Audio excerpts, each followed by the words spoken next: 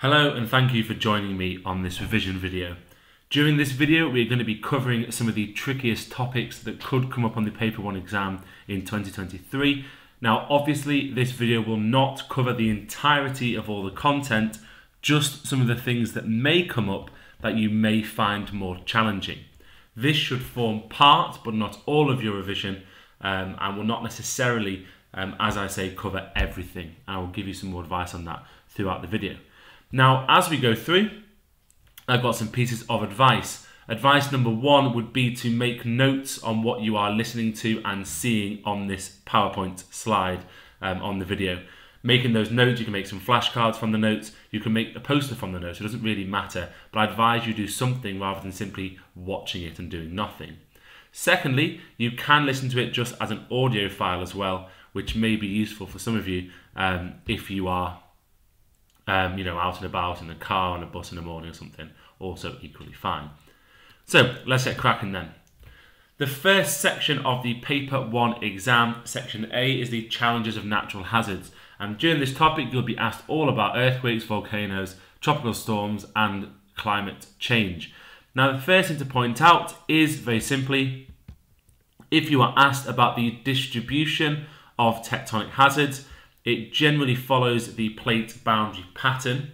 Now on this particular map here, you can see that along these black lines, the little red dots where our volcanoes are forming. However, there are some anomalies, for example, the Hawaiian hotspot, which is caused by something different to our traditional four plate margins. So please do be aware that if there are anything that are not occurring on a plate margin, then it's likely going to be due to a hotspot in the case of volcanoes. They could also ask you for the distribution of tropical storms. And as long as you remember the tropical storms need ocean water 27 degrees or more, you should remember that they're going to form in place of tropical waters, um, so equatorial regions. So, without any further ado, then, um, last year on the exam, they asked students to draw out uh, meanders um, and some coastal landforms as well, which threw people. Now, this year, it's very likely they ask you to do something similar, but with a tectonic plate boundary. Now, there are four main plate boundaries, and the first one, the diagram can be seen on the screen. Now, we've got a destructive plate boundary. Now, when it comes to drawing diagrams in geography in this exam, and when it comes to explaining something, we're not in an art exam. Now, if I'd spent five minutes drawing this lovely diagram here in the exam and it was a four or six mark question, I wouldn't be hitting the top marks because I'm only given the key areas. The best way to do any diagram in geography is to make sure they are annotated. Now, there are two main ways you can do this, and we're going to do the first way here. So, I've drawn out my diagram of a destructive plate boundary, and as you can pause and have a read through it yourself, you can see some of the key things going on. How would I write this in an exam then? Well, how I do it is I use numbers. So I've put a little number one here on my diagram, and then next to it or around it, I've then referenced that number in my annotation. It's a really easy way to show the examiner where to look, and it makes it really, really clear.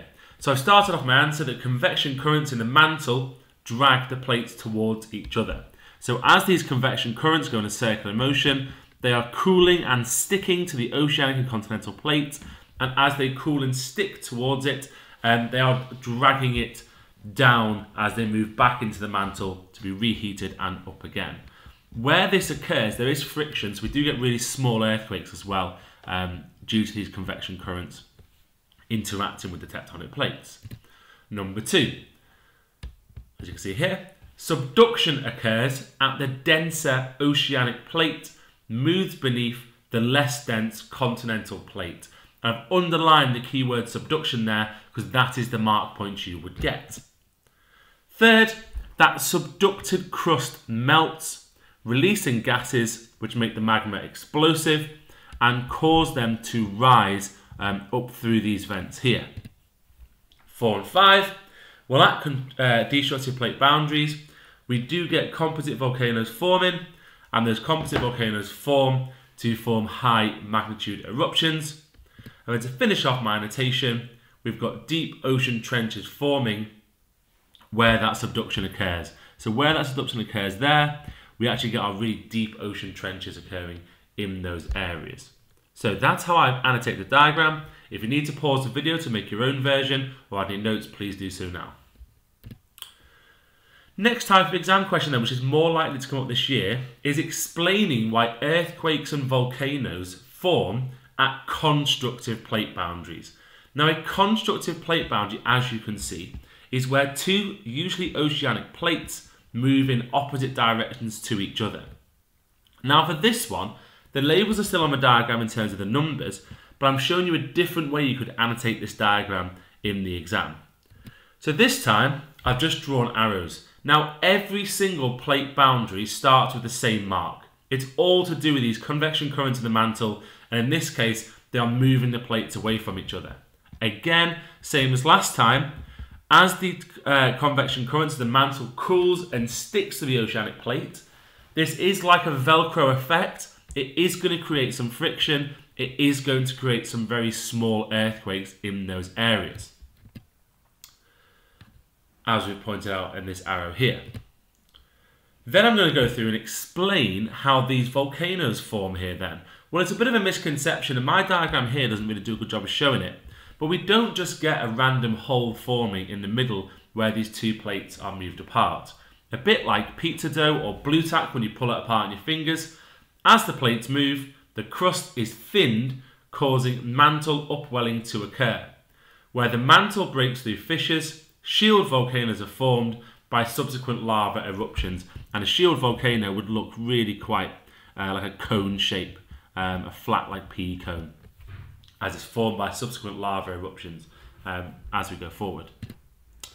Next diagram, we've got a conservative plate boundary. Now this one is different because there are only earthquakes occurring at this plate boundary, no volcanoes at all. And at this plate boundary, what we have, surprise, surprise, is the same first mark point again. The convection currents in the mantle move the plates against each other and friction can cause small earthquakes in this motion. But actually, for this plate boundary, the key is that rather than moving away or towards each other, the tectonic plates are sliding past each other. So there is no real opportunity for the mantle to move the magma or the lava above ground, so we're only going to get earthquakes, no volcanoes. Now, the key, and I put this in the middle of my diagram here, the key to the reason why big earthquakes tend to form at conservative plate boundary is as they move past each other. This is not like, um, you know, kind of two slippery objects sliding past each other in a swimming pool. These are jagged rock, and as they move past each other, the stress energy builds as the plates snag and grind on one another. And that pressure builds and builds and builds until eventually the energy is too great and it is released. The plate shifts and the energy is released as a shock wave. And as those shock waves move through the Earth's crust, they create our earthquakes for us. And we can see here the focus, the exact point where the earthquake occurs. Our shock waves then move out, and the epicenter is the point on the Earth's surface um, directly above the focus. And the final bit on label here, a great example for this one is the San Andreas Fault in California, USA, um, which you can be clearly visible, see the fault line as it is on that location. And then finally, the last diagram we've got is to explain the key features of a collision boundary. Now this one, again, starts with exactly the same mark points. You'll notice they're exactly the same for all four. Convection currents in the mantle move the plates towards each other. Friction can create small earthquakes. Now the key to this one though is if you look at the type of plate that I've labelled on the diagram here, they are both continental crust. Now because they are both continental crust, they are the same density. Oceanic crust is newer and more dense. Continental crust is slightly less dense, but because it's the same, crustal fracturing occurs rather than subduction. And where that crustal fracturing occurs, think of two cars smashing into each other, it can create earthquakes and it can also create uplift.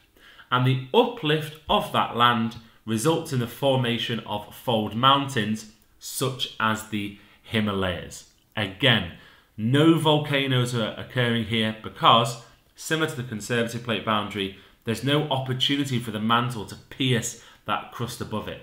Um, so we're only going to get fold mountains forming in those locations. Awesome. Now, in the exam, again, there'll be more questions about your L'Aquila and Nepal 2015 case studies. There'll be more about the three P's, predict, prepare, protect. But I'm hopefully um, you'll have a better understanding of those topics, where these tend to be a little bit trickier. Cool, on to the next section then. We've got something called global atmospheric circulation, which confuses people. All global atmospheric circulation does is it moves heat from the equator because it receives a higher amount of solar insolation, so at the equator it's warmer. This moves heat from the equator all the way to the poles through these different cells. Now, in theory, if we did not have atmospheric circulation, the poles would be significantly colder and the equator would be significantly warmer. It acts a bit like an air conditioning system. Now, to understand this, all we have to do is look at the arrows and follow the flow of air. So at the equator, where it's really, really warm, our air is going to rise and it's going to create something called low pressure. Now, low pressure is where air rises and forms clouds.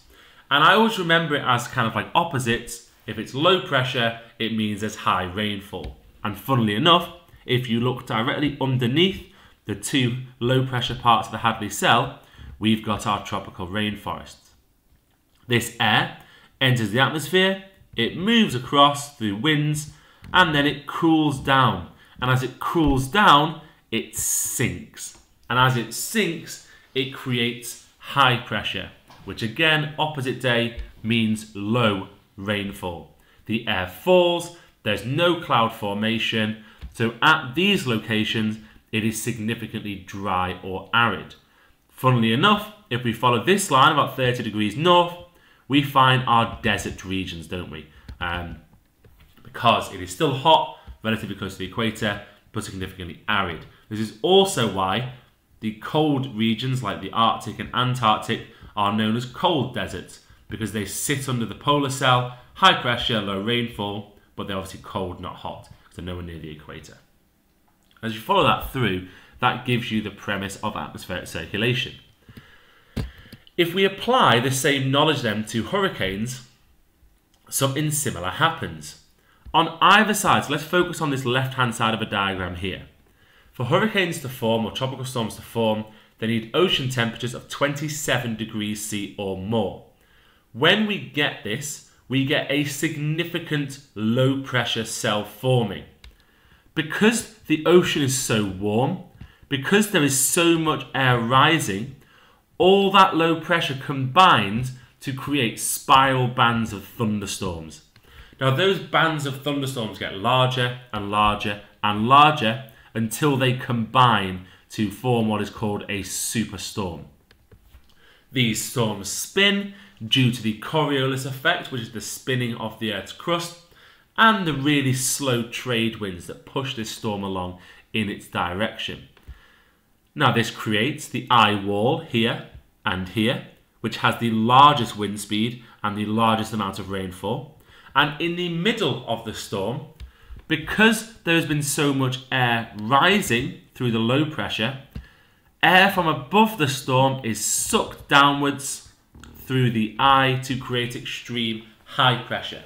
So again, if you were here underneath the eye, you would see clear blue skies not very windy, very, very calm. Either side, you are seeing huge wind speeds. Uh, you're going to see storm surges, which is where the ocean is lifted up and then blown onto the land. And you're also going to see uh, high levels of rainfall as well. And that is basically the structure and formation of a tropical storm. Now, what could they ask you about? Well, our main case study is Typhoon Haiyan. They could ask you about the effects of Haiyan, the short-term and long-term effects which refer mainly to the deaths, the injuries, the long-term economic issues associated with tropical storms. Or they can ask for the immediate and long-term responses. So if you read the nine-mark question, using a named example, evaluate the immediate and long-term responses to tropical storms. What's that really asking us? It's simply saying, thinking about Typhoon Haiyan, named example, Was the immediate or long term response more important or effective? So, what could you talk about? Well, for your first main Peel paragraph, we always want point, evidence, explain, link in our nine marks and six marks questions. Um, what can you talk about? Well, immediate responses include search and rescue, food, water, temporary shelters, evacuation centres, field hospitals being set up, roads being cleared to allow for search and rescue teams. Um, but locals did complain that the response was not quick enough. Um, access was really difficult as the roads were covered in debris, which slowed the relief effort. And what about long term responses? Well, the United Nations donated huge levels of aid to help with the country's development. Homes, roads, bridges rebuilt, fishing and farming re established. They put in new planning controls so that homes were not rebuilt in high risk areas. More cyclone shelters are built ready for the next storm. And the long term recovery was slow due to lack of money, and there was a lack of support to families who had lost, lost loved ones. So, immediate response what do we do straight away in the first sort of 24 hours? Long term response. What do we do longer term? Now, the long term response is all about building back better. And you can talk about how um, new planning controls, in other words, they don't want to build new villages um, in areas that are massively prone to storm surge flooding from uh, typhoons and tropical storms. Um, a bit of evaluation then. I'd say arguably that immediate responses are the most important for reducing the social impact, such as death, but long term are usually better for economic purposes. So long term response is all about getting fishing and farming re-established. It's about rebuilding infrastructure like roads and bridges. So they tend to be the economic, but we need that immediate response for people's well-being, for their health in particular. But I would say that both responses are heavily reliant on foreign support, and they were both really weak as well. I mean, the Philippines, Typhoon Haiyan was a Category 5 storm, the strongest one, hugely high magnitude. And the Philippines is not particularly developed country either, so didn't necessarily have the uh, money to put into prediction, protection, and preparation, the three Ps, which meant that the actual event was so large that the response that was really, really challenging. But for this nine mark question, I'd go along lines of introduce with a conclusion, appeal paragraph for the immediate responses, appeal paragraph for the long term responses, and then you want that judgment, that evaluation. You know, was the immediate response actually very good? Well, no, it wasn't. Why wasn't it? What about the long term response? Why wasn't it? What would you say then? Immediate, definitely more important for reducing social impact, but long term tends to have better economic futures for a country. Okay, and then the final part of paper one, section A, is about climate change.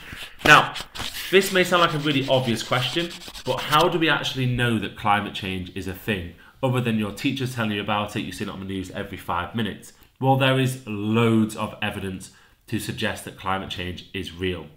Firstly, we are seeing a global temperature rise. If we map temperatures right the way back to 1880, we can see a very clear trend in temperature rise that is increasing every single year um, and if we extrapolate this graph to 2030, 2040, this trend would continue to rise. So global temperature rise.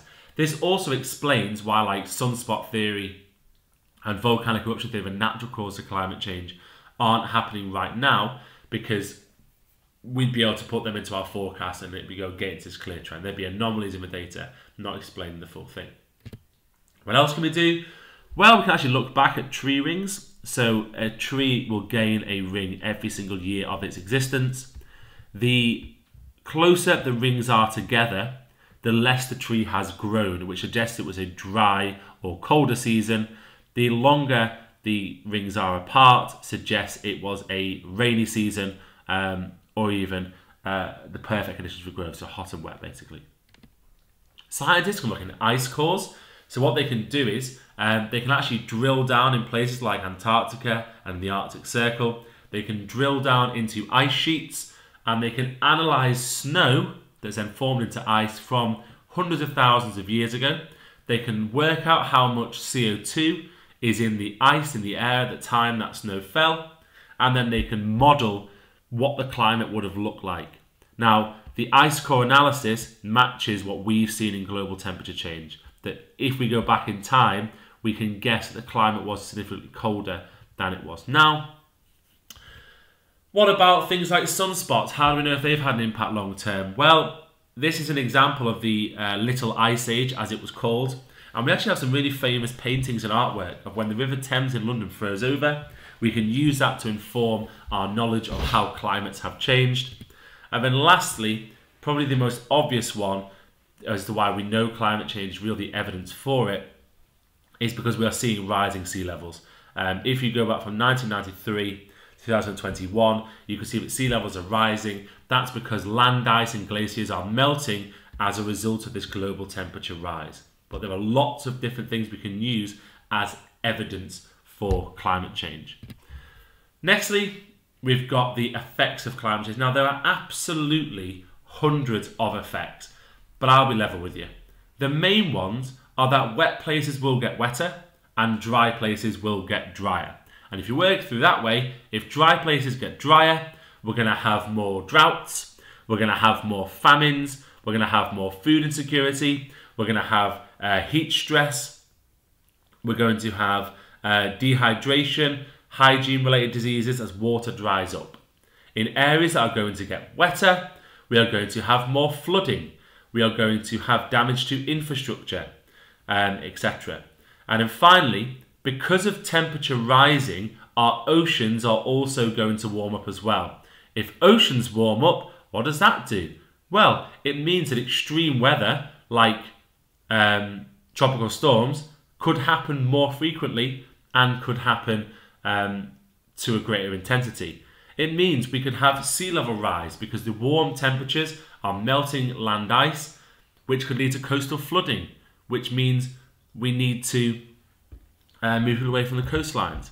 Loads of examples on there. Don't overthink the effects of climate change. Um, just stick with two or three obvious ones and then always chain of reasoning explain, well, who would that affect? Will it affect people? Will it affect the environment? Um, and you, you won't go far wrong in terms of the effects of climate change. A little bit harder then are the uh, response to climate change. Now, we know that our climate is changing. It's getting warmer and precipitation levels, rainfall patterns are changing. What can we do about it? We have two options.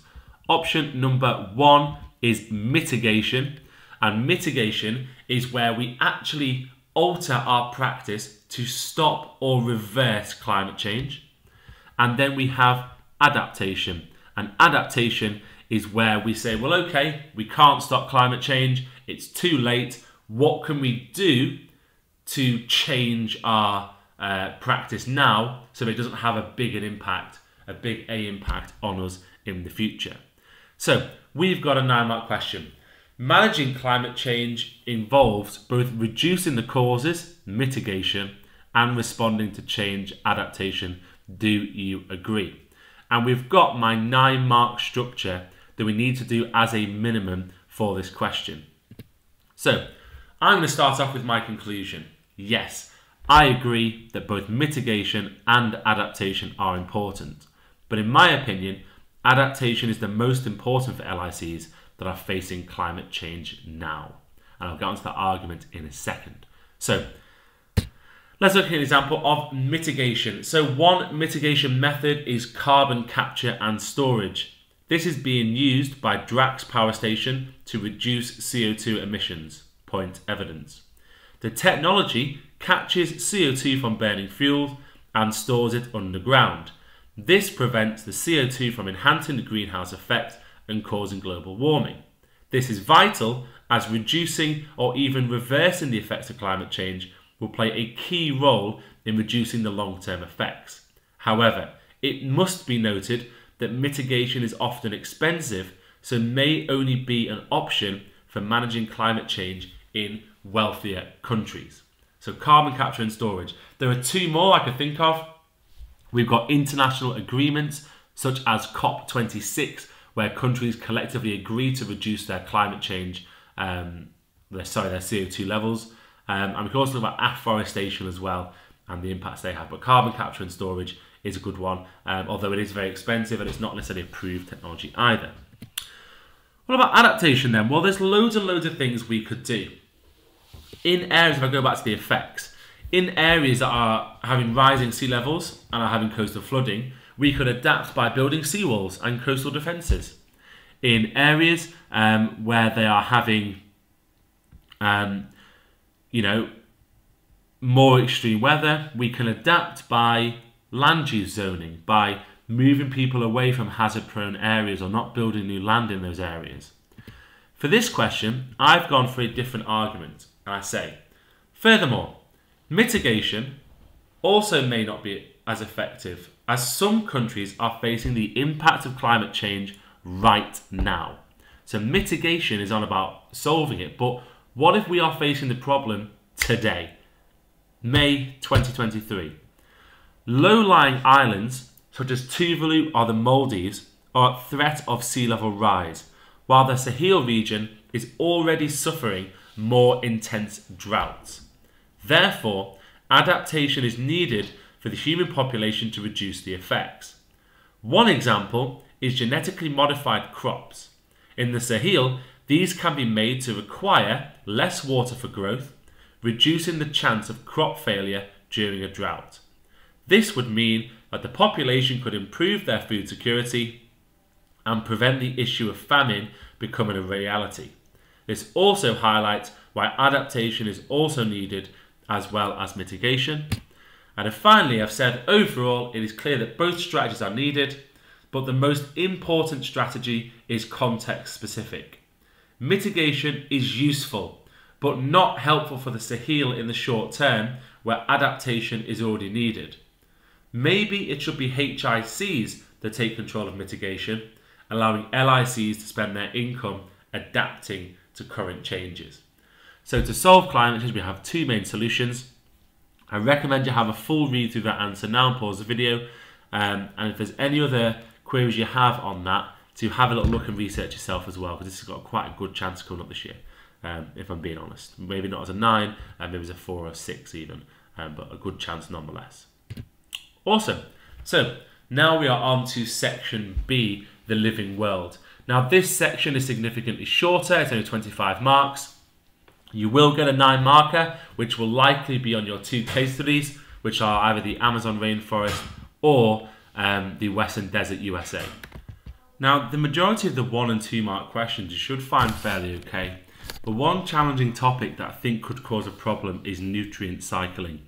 Now, the idea is that in any ecosystem, the amount of nutrients in that ecosystem um, varies between different stores. The main store is biomass, which is the living things. We have the litter layer, which is where the living things die and fall to the floor or the, the, the, the floor area of that ecosystem. And then they're converted into soil and uptaken by plants. So I'll give you the example here. We have a lovely tree with buttress roots in the rainforest. That tree, unfortunately, um, has some leaves that die, which are then stored in a litter layer. Those litter layer components are then decomposed by decomposers into soil and then uptaken by plants again. Now you'll notice that the litter layer in the rainforest and the soil layer are really, really low.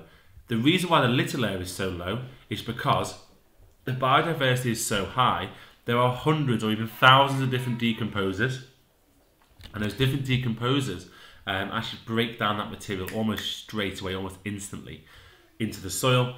The reason why the soil is so low is because there's a huge uptake by plants. Now you'll notice that there's a few other arrows, if you want to read through them at your own speed. We've got water, uh, loss in runoff, and leaching as well. So because there's super high rainfall, there's a misconception that the soil in the rainforest is really, really good. The soil in the rainforest is actually quite low in nutrients because it has to support this huge amount of biomass um, that sits above it. In contrast to that then, we then have um, the a cold environment, a taiga or a tundra level. Now for this one here, notice the same diagram slightly differently drawn. For this one, the amount in biomass is significantly lower. Um, the reason being there's lower biodiversity, there's less ideal conditions for life, there's very, very little in the soil, and that's because there is a huge amount of uh, nutrients stored in that litter layer. The reason for that, it's the same reason why you put your chicken in the fridge or you put food in the freezer. In the cold environment, decomposers cannot act as quickly and so they cannot break down the nutrients in those branches or in those dead animals, and therefore the soil has very few nutrients in it to then support life above. But the main marks are going to come from your two case studies. Now, our first case study is the Amazon rainforest, which encompasses Brazil, Bolivia, Peru, Ecuador, Colombia, Venezuela, etc. Now, one of the things that could come up, but we have looked at previously, are the cause of deforestation. So that's things like commercial farming, that's your cattle ranching. It's things like logging. It's things like road building, for example, the Trans-Amazonian Highway in the Amazon rainforest. It's mineral extraction, energy development, um, all those different things that can cause deforestation. We've also got some significant impacts of deforestation as well. Now I've put them in green and red because some of the impacts are actually quite good. On the positive side, we can have economic development. All those minerals for uh, mineral extraction, the energy development, the logging, the commercial farming can be a huge source of income for people in the Amazon rainforest, leading to positive multiplier effects, leading to trade improving and clear GDP growth, which then, if you follow through your chain of reasoning, can lead to significant health and education benefits for people who often are LIC or NEEs um, in the Amazon basin. We've also then got as well soil erosion. So as the not just the trees but any of the plants are eroded, two things happen. Firstly, the roots which bind the soil together are removed, and as those roots are removed, um, the soil becomes looser and can get washed away by rainwater. There's a huge amount of rain in the rainforest. And secondly, there's less trees to intercept rainwater, surface runoff increases, and so there is more leaching of soil, which means that the land itself, you can't grow much stuff on it anymore once a deforestation has occurred. And then lastly, the main one is the contribution to climate change, in particular, trees not only take in CO2, um, but when you chop them down, they release it as well. So it's a dual whammy effect that we need trees to sequester CO2 um, as a carbon storage method. And if we lose that, then the greenhouse effect will be enhanced. We will then have global warming and climate change. But the bit that people struggle on the most with this topic is looking at how rainforests can be managed sustainably. Now, sustainable rainforest management is actually a fairly straightforward concept. All it means is sustainable uses of the rainforest are uses that allow current generations to make a living from the forest without damaging the forest for future generations to use, so minimizing the environmental costs. Now, just stopping deforestation is not sustainable. If we're in an LIC or an NEE, we want to encourage economic development. So why shouldn't they use the forest to do that? Sustainably is making sure they can continue making money and making a living, but without damaging the forest too much so that people in the future, maybe in 20, 30, 40 years' time, couldn't do the same. There are three main reasons why we can do this. The first one is ecotourism, conservation, and education. Ecotourism being where they build small lodges into the forest, they can then attract tourists, and then that creates a positive multiplier effect for the area. It's not just the fact that you are then not chopping down the rainforest, it means that locals are still making a decent living and then can still access the development benefits. But also, these eco-tourist lodges often have a key role in conservation and education as well. They can educate tourists about the rainforest. They can uh, ensure that large areas of land are no longer used for chopping down trees, but are instead for tourism. Big source of income. We can do selective logging. So really valuable trees like mahogany. Um, when they deforest areas of land, traditional deforestation doesn't really decide which trees they do or don't need. They just chop them all down and then pick out the ones they want to sell. Selective logging might mean that they only pick out a certain number because you can at the end of the day you can chop down some trees and not have a big a big impact on the biodiversity in the area. You might also choose not to cut down younger trees that are growing or you might choose to uh, any rare species of tree you might avoid for example. So again, people can still make a living off it, but we're not damaging the forest to the point of no return. And finally, is something called debt reduction. And that's basically where lots of countries have got together um, internationally, the UK, the USA, um, France, Spain, and they've said to places like Brazil, to places in Indonesia, to places in uh, Bolivia, if you stop deforesting the rainforest, we will reduce the amount of money you owe us that we've given you in loans and in finance in the past. And again, the Brazilian government sees this as a brilliant idea because it allows them they are reducing the amount of money they owe, so they've got more money to spend on their own people and their country, and the forests are not being destroyed at the same time. So this resulted in like literally like millions of hectares of forest are now conservation areas because countries like the, the, the UK have you know forgiven parts of the debt owed to Brazil.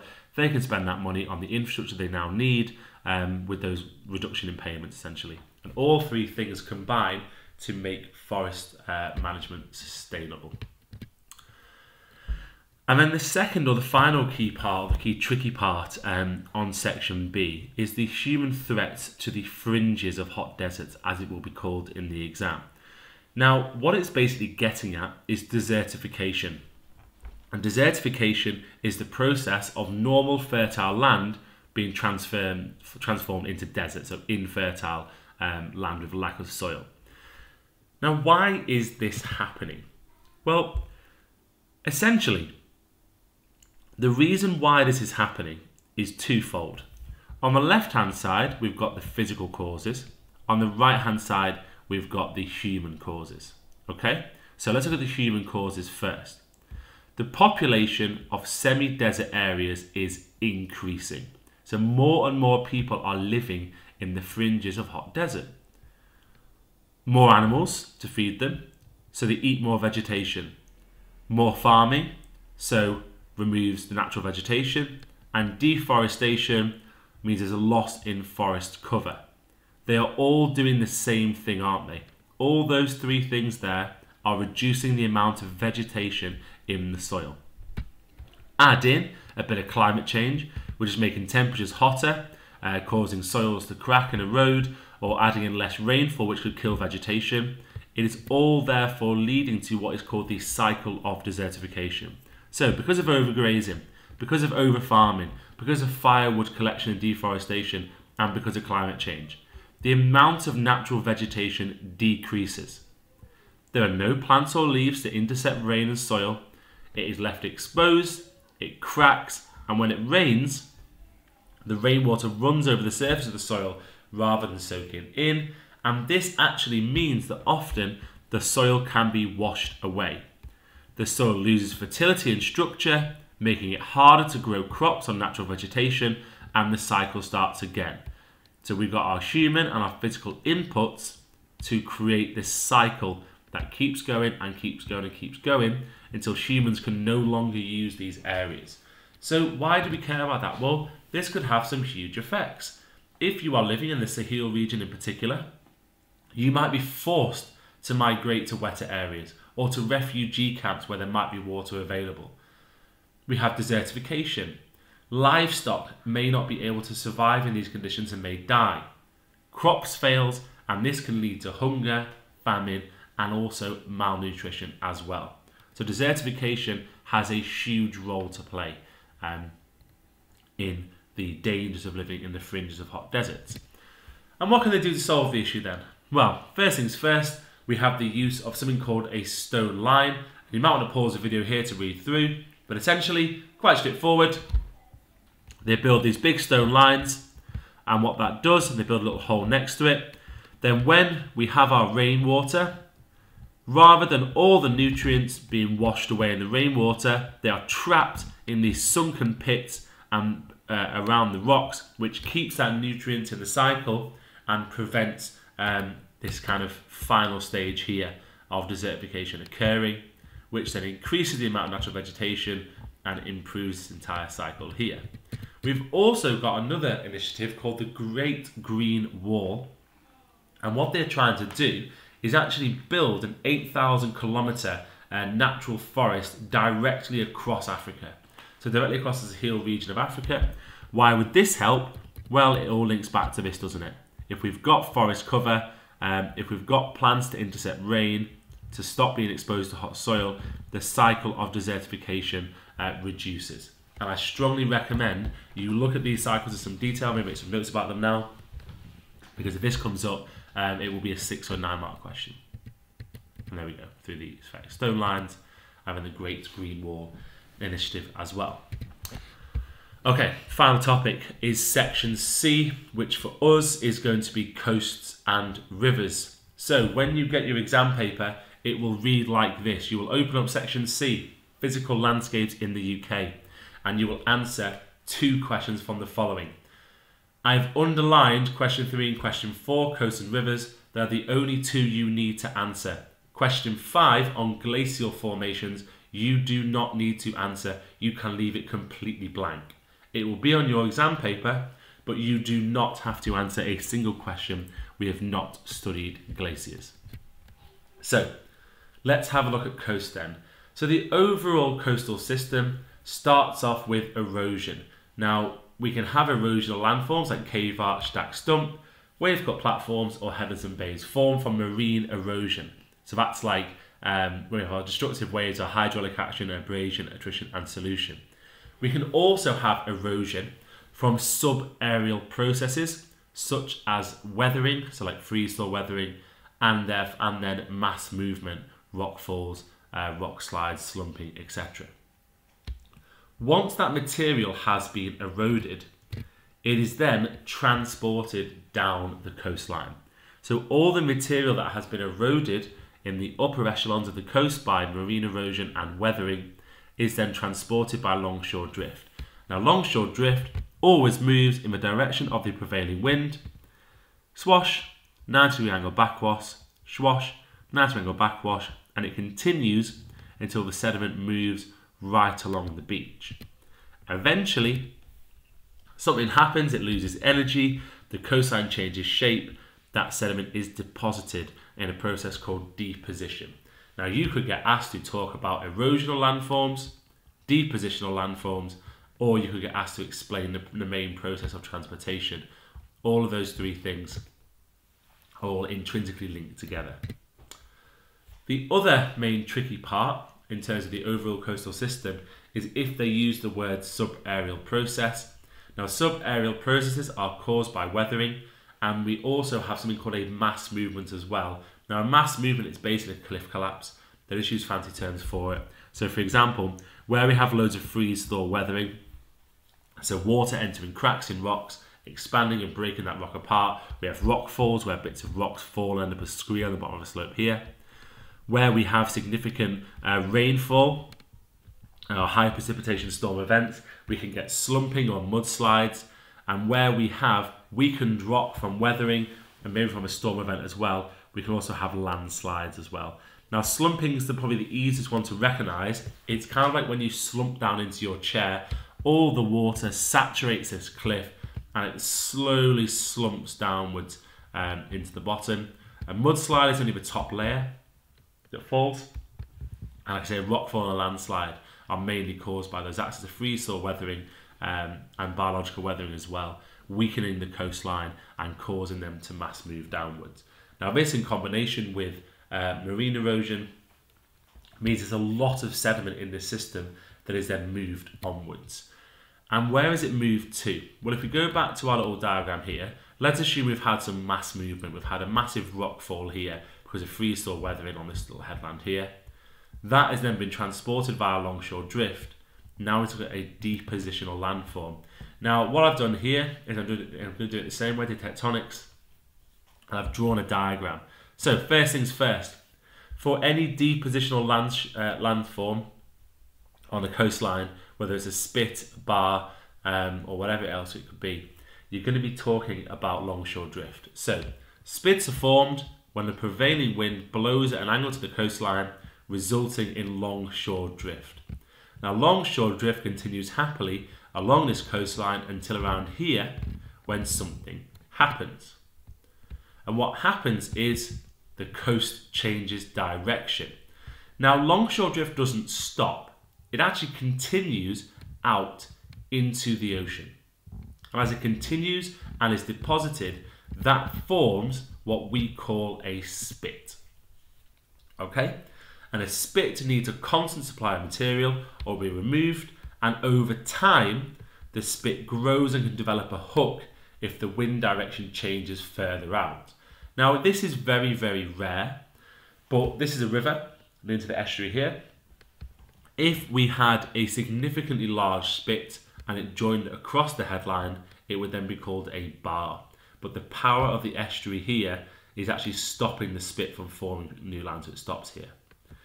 Then behind the spit, as you can see we labelled here, because waves can't get past it, it creates this kind of like sheltered area where, where silt is deposited, and then there's mud flats or salt marshes, essentially, on there.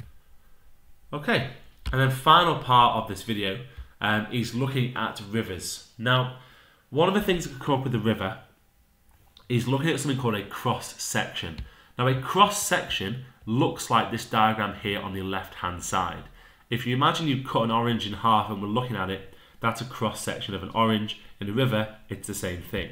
So in the upper course, our cross section is typified by V-shaped valleys. The river usually occupies most of the narrow valley floor and vertical erosion creates these steep-sided areas here. So very, very steep sides through vertical erosion. Um, we get huge amounts of hydraulic action and we tend to get lots of large boulders as well. There's a lot of power in that river still at the top uh, to move those large boulders. As we go down through the middle course, you'll see the cross profile has begun to widen. It's now fairly steep, but it's looking a lot wider. And that's because, in addition to vertical erosion, because the gradient of the slope is reducing, because the land is getting flatter, we are also getting lateral erosion as well at the same time. There's a combination of vertical erosion and lateral erosion. Uh, we get some deposition on slip-off slopes on meanders. We get some erosion as well. Um, and then finally, at the lower course of the river, they tend to be really, really wide. So again, we've got my cross section here of a really wide part of a river. Now on the lower course, we get levees and floodplains. Erosion is, is mostly lateral. You've got to these parts of these parts of the river here are extremely, extremely flat. And because they're so flat, um, essentially we're only going to get lateral erosion. I always think of like the River Mersey. When we went to the Albert Docks for our field work, you could see the Mersey um, is really, really wide looking over to Birkenhead, looking over to the Wirral. That's because it's in the lower course of the river, it's almost at the ocean, um, and it has this wide cross profile here. Again, if they were to ask you to draw some formations, we could be drawing a waterfall and a gorge, we could be drawing a floodplain, a levee, there's loads of examples. But I'm going to go with one that's a little bit sneaky, which is a formation of a V-shaped valley. Now, hopefully based off that first explanation, a lot of you would have picked up on that first part there. So V-shaped valley um, is all formed by this vertical erosion. And whenever we mention erosion in the exam, we always want to mention what type of erosion it is as well. So don't just say it is eroded vertically, it is eroded vertically via hydraulic action, um, etc. But it is not just vertical erosion that forms a V-shaped valley, because this is not a V. This is still very much like an L or an I shaped valley. We needed to form this classic V shape. Now, in addition to the vertical erosion, we also have weathering on the sides of the valley. So these sides of the valley here are exposed to weathering, freeze-thaw weathering, which loosens the rock, before finally we get mass movement where the actual insides of those valleys collapse inwards and create uh, loads and loads of rocks in our load in our river um, in the long term. So vertical erosion, add in some weathering, mass movement of the sides down here um, creates a V-shaped valley between interlocking spurs. You'll notice there's now loads of sediment in the riverbed down here. That is then transported via uh, traction, saltation, solution and suspension to then be deposited in the lower course of the river. Again, I strongly recommend that you make some notes at this stage here um, or make a little flashcard or test yourself on this PowerPoint um, as you're going through. And then last landform um, of today, before we look at hydrographs to finish, are levees. Now levees are formed in the lower course of the river. I've just put a basic diagram on here, but essentially, during a flood, the banks of the river burst, and as they burst, sediment is deposited on either side of the river, creating a new river level. And as the river gets shallower, should we say, or the, the silt uh, raises it significantly, with each flood, the levees are built up. And this is actually why we have such fertile soil around floodplains as well, because the floodplain would be like here, here, and here, because all that sediment from rocks is really high in nutrients, which means you have really good farm. That's why people build on farmland, on floodplains, sorry, around these areas. So that's a levee formation as well. And then the last thing to look at is flooding, which has not been asked any many questions about recently. Um, and essentially, we need to know that whilst it's mainly erosion that threatens people in coastal communities, flooding is the main risk on rivers. And the key to understanding flooding is the speed of surface runoff into the water. So if we imagine it raining, if it rains 100 litres of water and it then takes one minute for all 100 litres of water to enter my, um, I know, my, my bucket. My bucket might overflow because that water has entered very, very quickly. If, for example, I have another 100 litres of water and I drain that through a really thick sponge, so the 100 litres eventually reaches the bucket, um, but that it's taken a few hours, it may not overflow by the time I've had a chance to, to, to drain it. So the key to flooding is the speed of surface runoff into water. The faster the runoff, the more water that enters the channel, causing a flood. So to stop a flood happening, we want to reduce the speed of surface runoff. But unfortunately, that's not what's happening because the amount of flooding is increasing. Now we can split this again into human and physical causes. Uh, on the human side of it, we've got deforestation. So similar to desertification, um, if we have deforestation, we have less interception of rainwater. Interception of rainwater slows down the speed in which the water enters the river channel. So therefore, with deforestation, uh, there's an increased speed of surface runoff. More water enters the channels quickly, we're going to have a flood. And we've also got urbanisation as well. Urbanisation being where humans have concreted over, building roads, building houses. They've concreted over soil, so rather than the water draining into the soil and slowly making its way back to the river, now it's got a impermeable surface and it flows really, really quickly straight into the river at a jet speed. In addition to those human causes, we've also got physical as well. So the, the, the type and the speed of the precipitation is really, really important because if we have uh, a storm where all the rain is, is dropped in a very short space of time, like the Somerset Levels 2015 flooding, 2014 flooding, sorry, we're going to have significant flooding. Um, and if the valley sides are really steep, we also see quite a lot of flooding as well. If the valley sides are flat, thinking about basic physics here, the water's going to move slower into the river, so the river's got more chance to drain and not overflow its banks. If it's got really, really steep sides of the valley, the water enters super quickly and can cause a flood event to occur. Now, last thing on this video then is we can actually see flood events on what is called a storm hydrograph and they look really really confusing but actually in reality um, it does make a bit of sense. On this hand here you've got the precipitation which is this bar chart here the same as a climate graph and on this axis here you've got the discharge which is the amount of water that's flowing through the river. Now the discharge is shown by this orange line here. Okay, so we have our rainfall. In this event, it's a huge rain event. It's happened over um, the course of about 24 hours, maybe a bit less, a bit less actually, about 10 hours, isn't it? Um, huge amounts of rainfall have entered that river. Now, the time between the main part of the storm and when our river flow is highest is called the lag time. Now, if the lag time is short, there is going to be a flood. If the lag time is long, there is likely not to be a flood.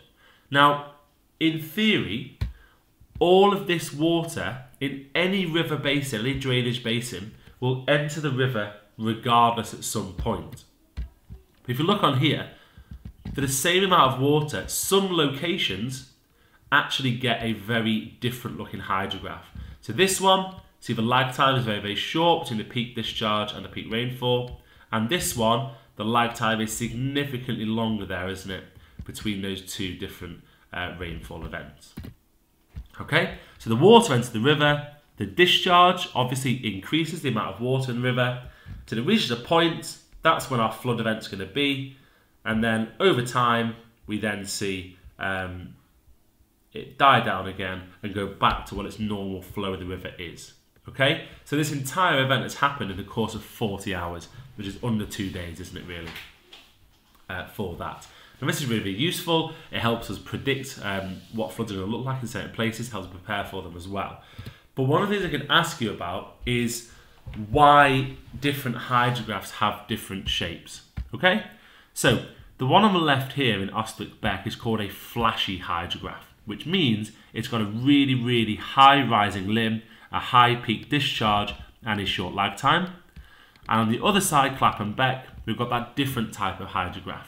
It's got the same amount of rainfall, but it's got a significantly longer lag time, significantly lower peak discharge.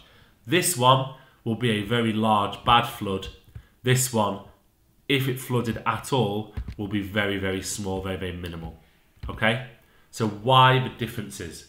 Well, Austwick Beck could have had massive deforestation because if they've deforested the area, there will be less interception and therefore surface runoff time increases. So we look on here, it will be faster between this point here and the water entering the river, hence why we have this short lag time. On this one, you could argue there hadn't been deforestation because maybe the trees were the thing that was stopping the water entering the river quickly and increasing the lag time. It could be to do with the speed of the precipitation, but in this case not so much. Maybe it's to do with agriculture, or more likely, it's to do with urbanisation. Maybe in Austwick Beck, we had significant urbanisation. Maybe it's a bigger city, maybe it's a bigger town than Clapham Beck. Maybe they've just built a new retail park or a brand new road infrastructure system. And therefore, because it's impermeable, they have a shorter lag time and a higher peak flow as the amounts of surface runoff uh, are increasing in speed. Okay, and that means that we're going to have a flashier hydrograph. And then lastly, maybe it's to do with the relief around it. Maybe Austwick Beck has really steeped V-shaped valley slopes, and maybe Clapham Beck has a really short gradient, reducing in that lower lag time. Okay, and all those things combine to draw us different hydrographs on a chart. But the flashier it is, the higher that peak discharge, the lower that lag time, the more likely there is to have been a flood and the more severe that flood will have been um, in the future. So that is it for my tricky topics video. Um, I would strongly recommend you go back to key parts of this video, make some notes, make some flashcards. And of course, this is not everything that will be on the exam, but hopefully it will give you a good insight into the bits that could cause a bit more of a problem on exam day. Any questions, let me know. Thank you.